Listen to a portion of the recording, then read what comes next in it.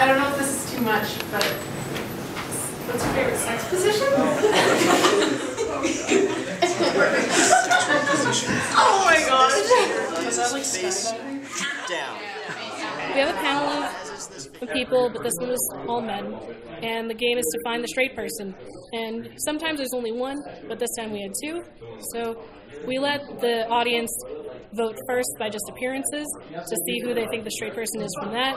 And then we go into questions. And then sometimes it changes for a lot of them, sometimes it doesn't change at all. And it just is to show people that when you vote by appearance, and even when you just know someone a little bit, you can't even tell correctly who's gay or straight.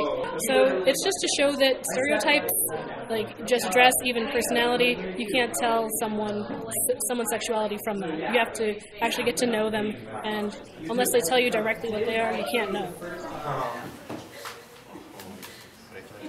We're